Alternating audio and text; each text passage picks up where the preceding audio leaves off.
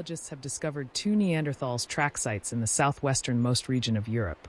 At Monte Clarigo, dated to 78,000 years ago, trackways of three individuals demonstrate how Neanderthals navigated dune landscapes.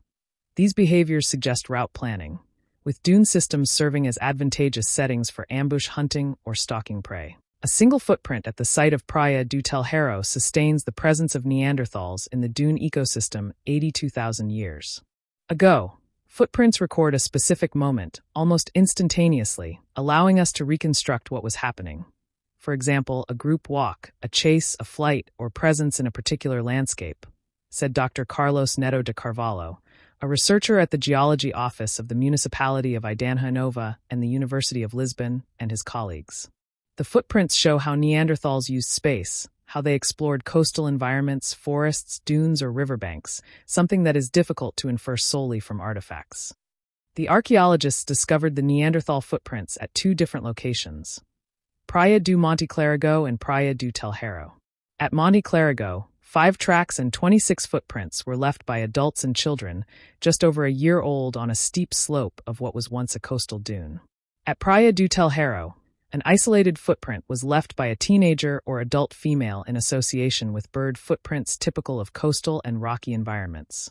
Through the number, size, and arrangement of the footprints, it is possible to infer the minimum number of individuals present, their age range, children, adolescents, adults, or the possible division of tasks, e.g., a hunting party, the researchers said. Children and babies, who rarely leave archaeological traces, can be identified by their footprints, which are smaller revealing more about the social structure.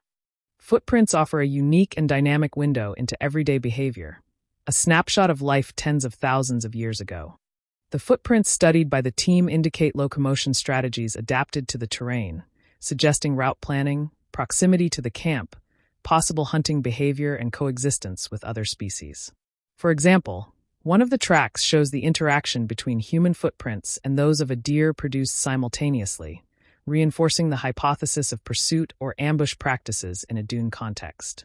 The findings also confirm that the Neanderthal diet in this region consisted mainly of deer, horses, and hares, complemented by marine and coastal resources, indicating a diversified dietary strategy. The consistent presence of these mammal species highlights their role as reliable food sources, irrespective of the varying environments inhabited by Neanderthals, the scientists said. In addition, the Neanderthal diet also incorporated animals from neighboring littoral habitats, indicating a broad foraging strategy that capitalized on local biodiversity. The team's paper was published July 3 in the journal Scientific Reports.